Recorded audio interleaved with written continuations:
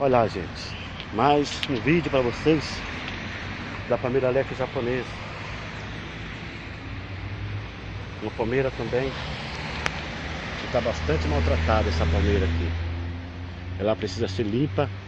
Não está tão maltratada, mas precisa tirar esses galhos secos para ela ficar mais bonita.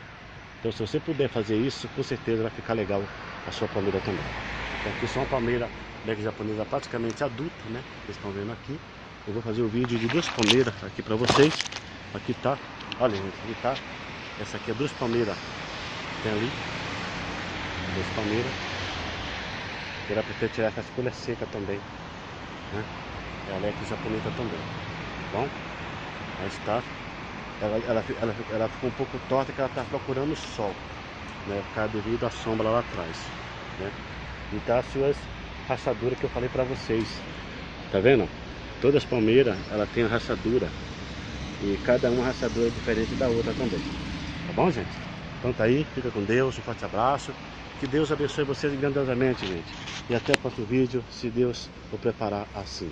Um, bo... um abraço, fica com Deus. Que a graça do Senhor Jesus Cristo esteja com todos vocês.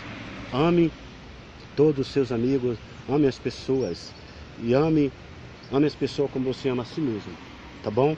Ame as pessoas como você ama a si mesmo, tá bom? Que Deus vos abençoe. Fica com Deus.